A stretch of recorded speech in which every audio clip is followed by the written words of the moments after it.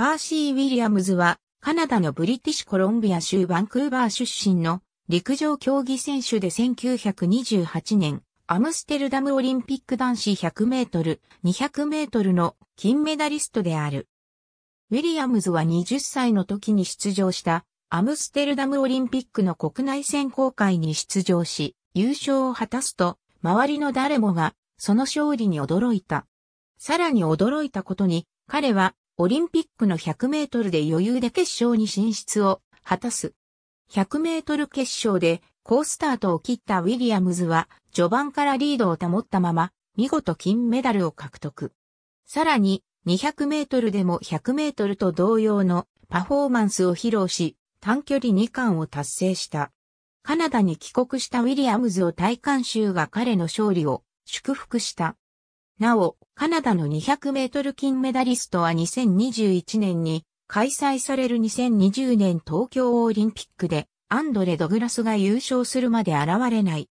彼の勝利は、まぐれではないことは、1930年の大英帝国競技大会の100ヤード走で世界新記録を樹立したことから証明された。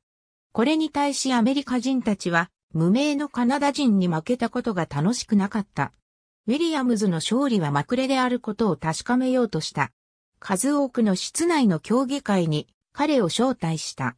しかし、ウィリアムズは21レース中19勝し、その結果にアメリカ人たちは呆然とした。ウィリアムズが世界最高のスプリンターであることが証明されたのである。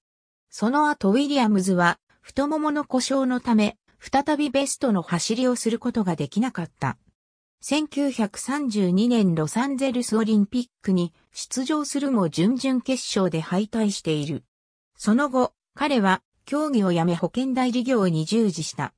1979年にカナダ勲章を受章。